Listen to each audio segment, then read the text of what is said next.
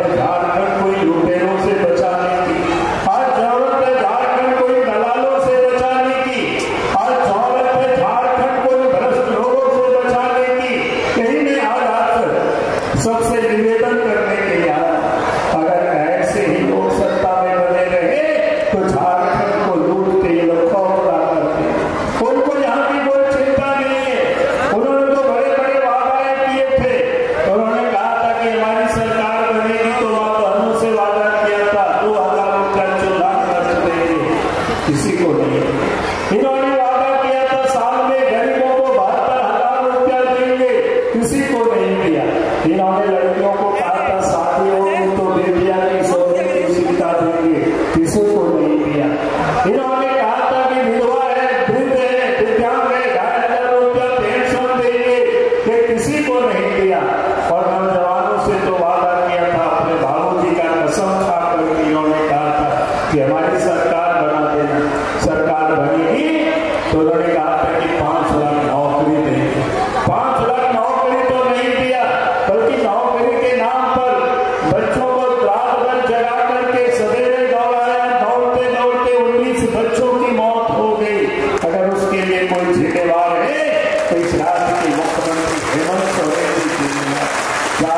Thank you.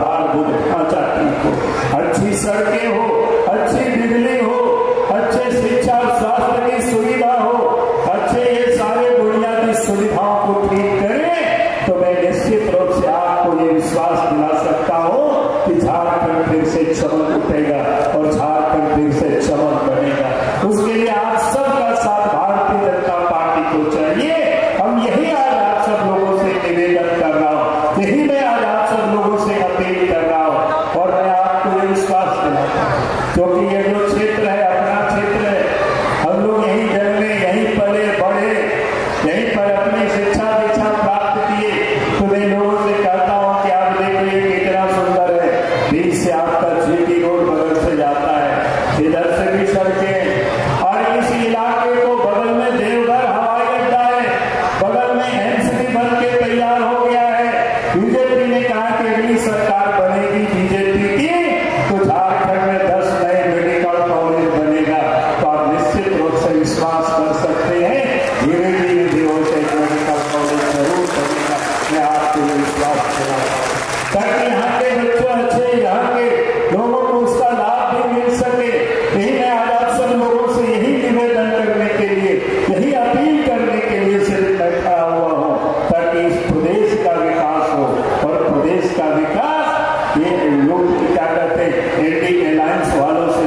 worked out.